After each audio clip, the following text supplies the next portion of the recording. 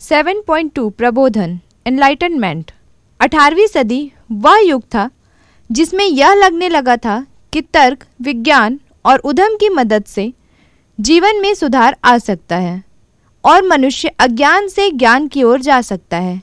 लेकिन ऐसी प्रगति तभी संभव होगी जब तर्क और विज्ञान किसी के वर्चस्व या सत्ता के आगे झुके या रुके नहीं।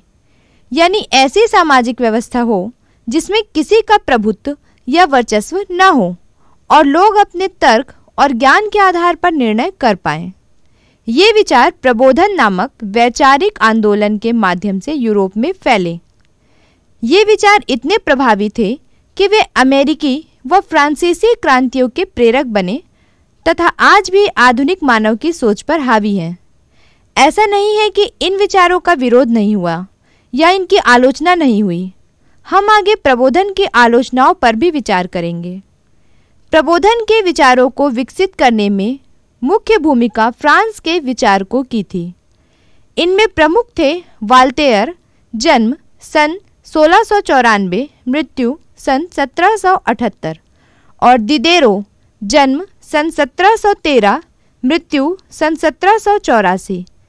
इनके अलावा स्कॉटलैंड के दार्शनिक डेविड ह्यूम, जन्म सन 1711 मृत्यु सन 1776 और अर्थशास्त्र के जनक एडम स्मिथ, जन्म सन 1723 मृत्यु सन 1790 को भी इसी श्रेणी में रखा जाता है।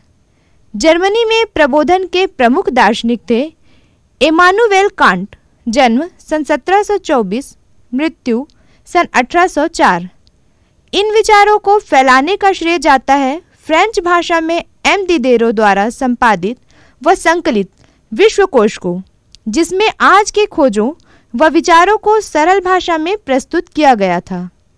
आगे हम प्रबोधन के मुख्य विचारों के बारे में पढ़ेंगे।